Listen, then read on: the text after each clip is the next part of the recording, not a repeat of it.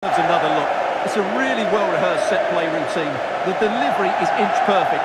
And what about the finish? With such control and technique, that could have gone anywhere, but not with his skill.